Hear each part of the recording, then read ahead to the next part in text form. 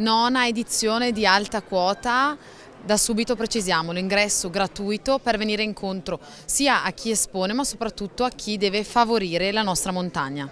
Ma io credo che sia importante dare un segnale, anche se piccolo, anche se proprio non molto significativo, di andare incontro alle esigenze un pochino di tutti. È chiaro che gli espositori sono qui proprio per promuovere i loro prodotti, per promuovere le loro stazioni sciistiche, per promuovere qualsiasi cosa possa essere attinente alla montagna. Il visitatore va a vedere e se ha lo stimolo di non spendere neanche un euro per andare a visitarlo, viene più volentieri.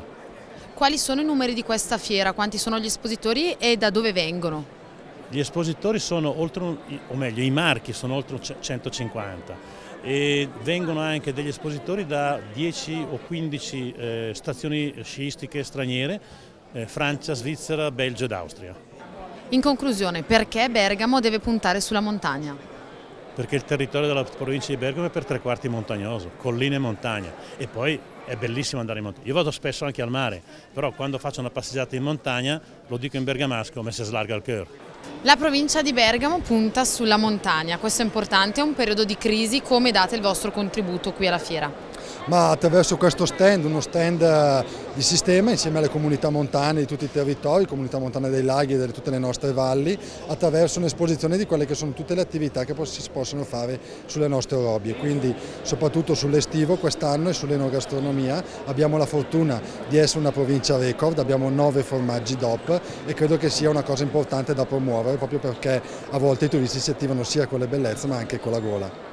Quindi montagna a 360 gradi, va bene sciare, camminare, correre, però goderla insomma in tutti i sensi. Direi di sì, eh, stiamo puntando proprio sulla destagionalizzazione, quindi è un territorio che può essere piacevole in ogni stagione e cerchiamo di rappresentarlo in questo momento, in questo modo, proprio perché eh, anche solo dalla, dalla, Lombardia o comunque dalle località vicine in due giorni, tre giorni si possono vedere paesaggi e patrimoni culturali veramente importanti. Mi viene in mente il centro storico di Gromo, che è veramente una chicca e pochi conoscono.